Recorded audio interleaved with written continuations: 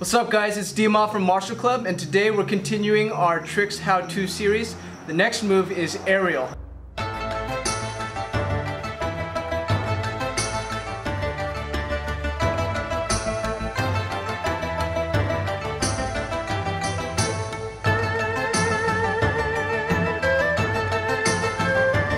It's a cartwheel without hands, it looks cool. It's probably the simplest, safest flip you can learn. Now, uh, there are actually two types of aerials. One is uh, running straight on approach. We call it a wushu aerial, where your legs are straight and they go straight over your head.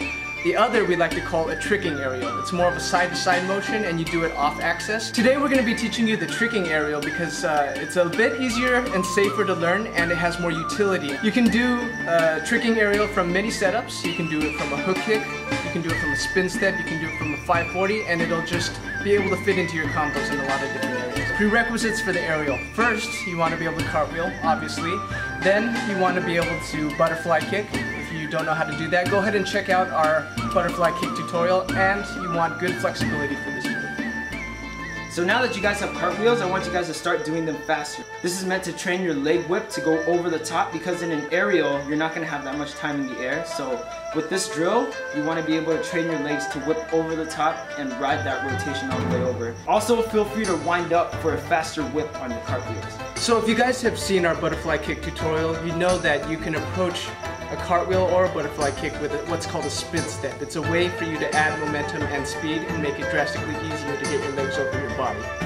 Um, when you do this, you, it can either work for you or against you. So you want to be able to do it without thinking about it. You want to do it smoothly and with a lot of relaxation.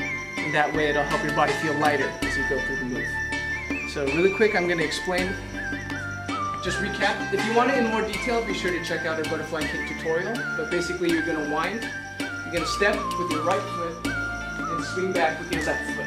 And at this point, you should be in the right position to throw the cartwheel. So the spin step, if done correctly, should make your cartwheel feel significantly lighter and faster.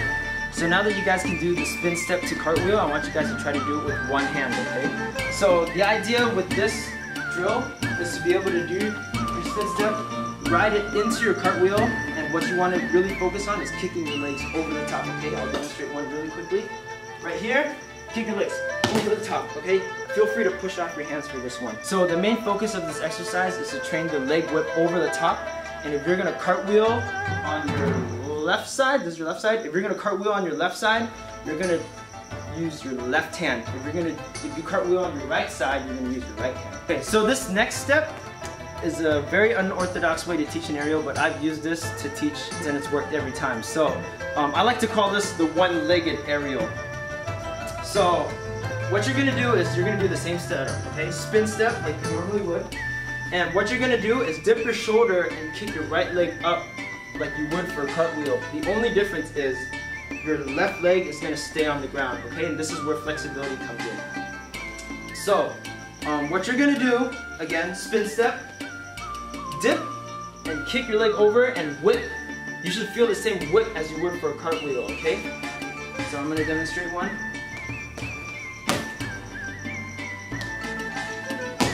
Alright, so when you do this drill, you should really feel yourself whip over the top. And if you do this correctly, you should be facing the opposite direction of where you started. Yes. yes. So this next step, I want you guys to do the exact same thing uh, as the one-legged aerial. And this time I want you guys to do it a little bit slower, okay? Um, so don't worry so much about the axis, alright? I want you guys to do the spin step as you normally would.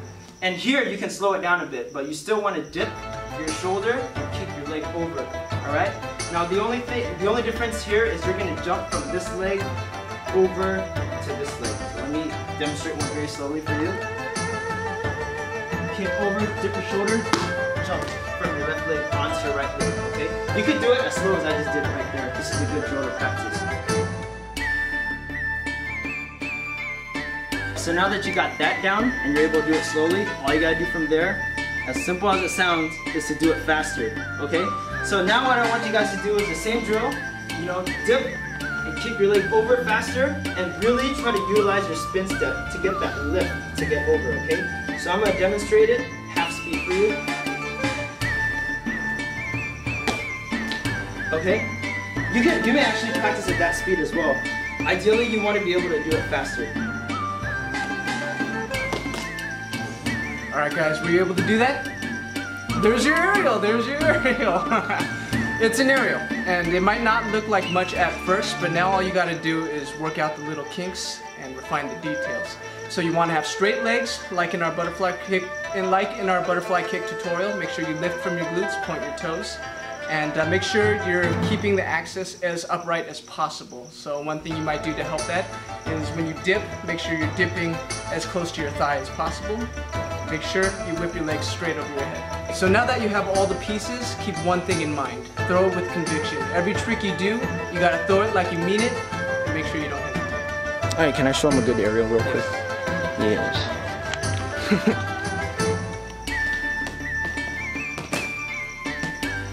Okay guys, that was the aerial.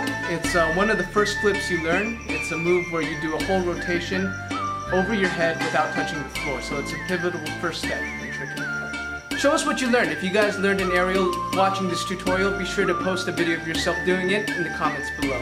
Um, give us some feedback. If you uh, saw anything that wasn't clear, make sure you mention it in the comments below. Also give us suggestions for future tutorials.